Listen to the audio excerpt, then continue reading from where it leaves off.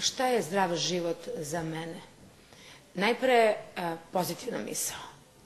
Najpre misao, zdrava misao. I evo da citiram jednog od najvećih ličnosti, možda naj, najveću ličnost 20. veka, gospodina Gandija.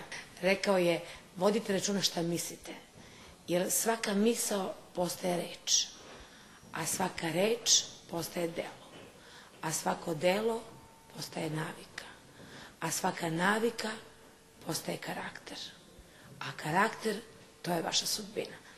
I ja mislim da je on najbolje e, ilustrovao kako ove, od misli može se srušiti cela piramida života, da se upropasti ceo život.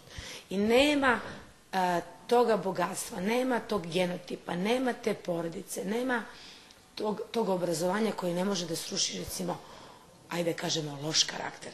A karakter se dobrim delom i stvara. A, zdrav život podrazumeva, dakle, misao, način života. Način života šta?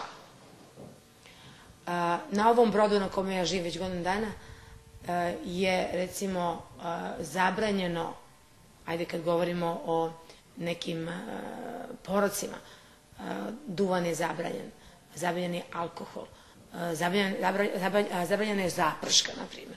To je malo šala, malo istina a, zabranjeno je ružno govorenje o drugima.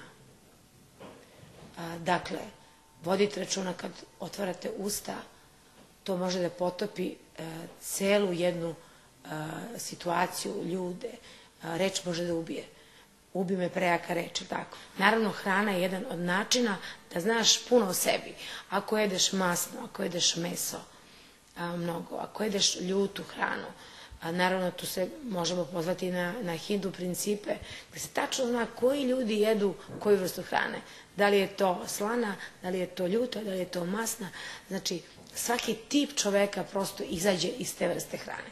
Hrist je sve više i više išao ka suncu, ka nebu i on je naravno u prvoj fazi izbacio sve što tiče mesa, potom je ostao samo na ribi, dakle, i, i onda je išao ka vegetarijanstvo. Znači, sigurno je zdrava hrana, hrana u kojoj nema mesa. To je 100% tačno.